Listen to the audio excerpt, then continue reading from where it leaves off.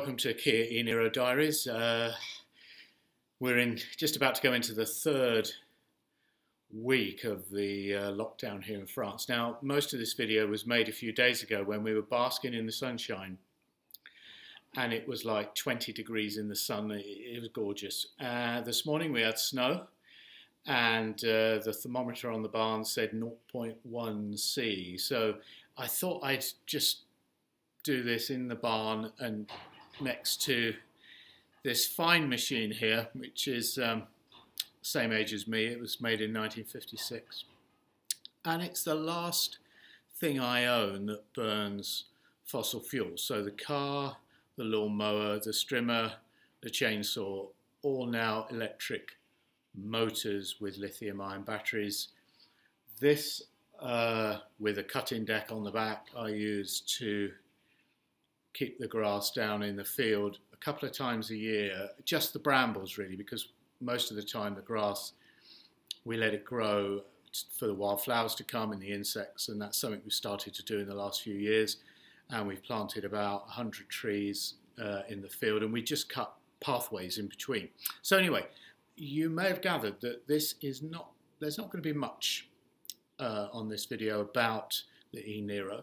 Uh, it's mostly in dock, uh, as you can see here. It's um, I think last week we did 62 kilometres or something. We are very restricted on when we can go out with the coronavirus lockdown.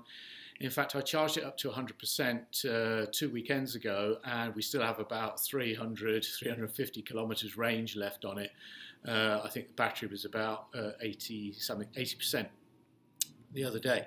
So anyway, uh, that's the e-Niro. It's still there, um, and uh, we are just uh, you know seeing this through as everyone else has to. We're all in the same boat here.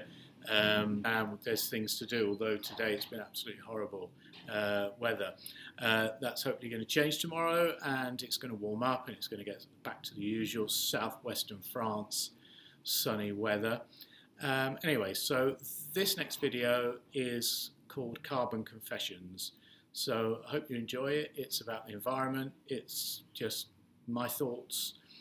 And uh, if you don't like it, don't bother watching anymore from here on. If you just want to know about the Niro, there'll be other videos I do about that. Um, so this is just my opinion. So I hope you enjoy uh, finding out about what I call my carbon confessions. Hello and welcome to Kia e-Niro Diaries. Uh, it's the 26th of March and we're into the second week of the coronavirus shutdown here in France. Um, and luckily for us, we're say we're very lucky. We've got uh, plenty of land here and lots to do. Uh, jobs always um, when you have a couple of acres and an old uh, farmhouse, I suppose it's a farmhouse, um, and, a, and, a, and a barn uh, there it is. Uh, so a few solar panels up on the roof there. Um, so time to think, time to consider what's going on in the world today. Um, and this whole idea of just having a think um, brings me, brings to my mind anyway, the, uh, the, the, the, excellent YouTube site uh, by that name, Just Have a Think. Um, uh, it's very well produced, very well researched and it looks at the environmental problems that we face and it's not all doom and gloom. It's about solutions and methods that we can employ to mitigate um, some of the environmental disasters that we are imposing on the world. And it is quite interesting that uh, with very much of the world now um, in coronavirus lockdown the economic activity is obviously reduced, so there's a lot less flying. Uh, some airlines have cut most of their services, or at least 80 90% of their services. There's a lot less driving. Um, I saw some satellite data recently from northern Italy where the nitrogen dioxide levels, uh, the nitrous oxide levels, and of course CO2 are all well down. So those cities are a lot cleaner. So we have now benchmark against which we could imagine what a post-fossil fuel world would be like in terms of transport anyway and the benefits that will come from that. But uh, you know, us people who drive electric cars, you know, we can walk around with a sort of a smug, smug mode grin on our faces, and it does feel good, to be honest. I have to say that I don't have to buy petrol anymore. Um, that when I use the car, at least it's not putting out any emissions. Although, of course, any car, any big product like that uh, produces a lot of CO2 in its production. Um, so you know we you know we're not uh, we're not exemplars of greenery if we simply choose an electric car, but it is a better choice, I believe.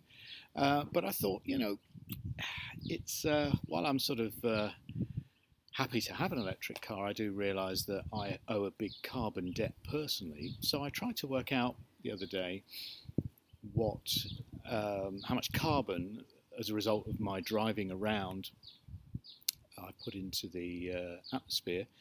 So these are my carbon confessions.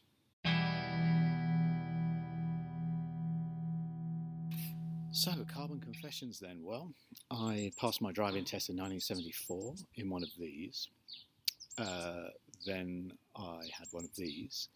And then I needed something a bit bigger because I was playing in bands and doing that kind of late teenage stuff. So I had one of these. Um, then I had one of these, and then I got a. I started working as a computer service engineer. I just uh, qualified then um, in electronic engineering, and uh, so I started having company cars. So I had one of these, and then one of these. These were kind of more newer cars to the sort of early 60s stuff I'd been driving around in. Um, and then uh, shock horror, one of these, and one of these, and one of these. So on it goes. So anyway, uh, it tries. Uh, you know, it's difficult to work out what the CO2 is. Obviously, more recent vehicles uh, have to say what their um, uh, carbon dioxide emissions are per kilometre of driving on average. Although, of course, we can't always believe these manufacturer manufacturers' figures. Um, and there are some celebrated cases of why we shouldn't do that. But I've tried to work out, I, have got a pretty good memory for how many miles I did in these various cars and what the odometer readings were, and I knew pretty much what my annual mileage of driving was. So uh, the more recent cars, obviously, that I've owned, um, I've been able to research what the CO2 emissions per kilometre were for those in terms of uh, grams per kilometre. But obviously, older cars were not so efficient. Although I had a pretty good idea of what the miles per gallon were and the size of the engines uh, back then. Now, I mean, if you go back far enough to the early cars I drove, they were probably running on unleaded petrol, so horrendous things. Um, but anyway, I've worked out that over 46, yeah, 46 years of driving, I've driven about 700,000 miles. And I've tried to include in that rental cars. I've rented cars all over the world on my travels and uh, for, for business and, and pleasure too. Uh, so that's about 1.1 million kilometers, which, I mean, it's not excessive. I, I used to do some years 25, 30,000 miles a year, and now you know, much less than that. I, I've averaged out, I think, about 15, 16,000 over my driving life so far. So, what does that all add up to? Well, I reckon it's somewhere in the region of 220 metric tons. That's kind of scary. That's just me. And that doesn't include, that's just my driving. That doesn't include the flights I've made. I, have worked for companies in the US and I've been all over the States, long haul flights, some of them club class, which is even worse, um, and South Africa, all over Europe. So it's really a big carbon debt. So, anyway, those are my carbon confessions. And, you know, it's quite interesting that most people, if you mention to them you know, the fact that, oh, they're driving this car or that car, and they're, as soon as they turn their engine on, they are polluting the atmosphere, or as soon as they're taking that long flight. And I think it's important that we're not trying to point the finger at people here, that you know, people do get very prickly when you uh, challenge their lifestyle. Although with this coronavirus lockdown, uh, it's making us think again about what we really need, and what we really need is access to food and access to medicines, and most other things are just discretionary spending, really, when you think about it. Um, so whether this will sort of tone down things a bit in terms of, um, you know, the uh, the sort of uh, amount of CO2 and other pollutants we're putting into the atmosphere, I doubt it, but it will at least be a benchmark against which we can measure. We can measure how much cleaner the air was during the shutdown. How much, I mean, already we've seen pictures of fish swimming around in the lagoon in Venice. Now the um, vaporettos or, are not running around, uh, you know, with tourists. Uh, these these boats uh, there. I actually went there once. Very nice place. Um, so yeah, I mean, um, it is important not to point the finger, but again, we must learn the consequences. I mean, it's like, uh, you know, when you're a kid, you learn if you do certain things, there are consequences of doing those, of taking those actions. And so when you turn the key of your uh, internal combustion engine car, the consequence is that somebody's house in Australia burns down or somebody's house in England floods. Now, that's kind of, whoa, where are we going with this? But it's absolutely true that there are people uh, who've watched their houses burn down in Australia and haven't made the connection between the burning of fossil fuels in their big V8 truck or whatever it is, or they're flying off to Bali for their holidays, and their house burning down. Now, this, um, it's just the way things are. It's, it's, there is a link between these things. Likewise, the flooding in the UK you know, we're getting a lot more rain because why? The atmosphere is warmer, warm air holds more moisture. So, you know, we're getting more rainfall at certain times of year and we're getting more droughts in other places in the world. So, there are consequences of our actions. It's not a good thing that everybody were to rush out and buy an electric car. That would be absolutely crazy. For a start, there are 1.4 billion private vehicles, cars and vans on the world's roads and the world's factories working flat out can only make about 90 million a year. Now imagine every one of those was an electric car, and from today everybody bought an electric car. That would be absolutely crazy to try to replace that lot. It would still take 15 years to replace them. The most important thing, I think, is that, and, it, and likewise, it would be wrong to say to people, you can't ever fly again. That, that would be stupid.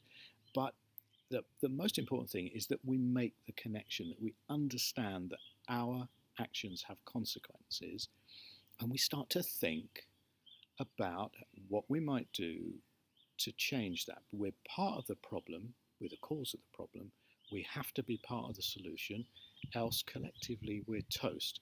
And I think COVID 19, which is going to sadly take the lives of a lot of a lot of people, uh, is maybe going to help us to think about this. I don't know. But anyway, that's my sort of rant for today and my carbon confessions, or at least from my driving. It's really scary when you add it up that just me driving around has put 220,000 kilograms. That's right, it's a thousand kilograms in a metric ton. 220,000 kilograms of CO2 from driving around. It's crazy. I'm sure future generations will look back at this and say, God, those guys were, were really crazy. But then again, they didn't know any better. And that's always the case when we look back in the past and we look at what people did. Why, why did they do that? Anyway, thank you for watching. Really appreciate the um, the, uh, the number of people who watched my last video, having owned the Kia e-Niro for a year. There will be more coming about the e-Niro, although I'm not using it very much at the moment because we are grounded. It's now in France, only one person can go out at a time, so I have to sign a little piece of paper. So if I'm stopped by the police, I can I can say where I live, uh, why I'm in the car, or why I'm out walking the dog, or whatever it is I'm doing. Um, so they are really cracking down here, and it has to be done because an awful lot of people are going to suffer unless we can uh, at least slow down and eventually stop this virus. So thank you very much. Stay in and stay safe.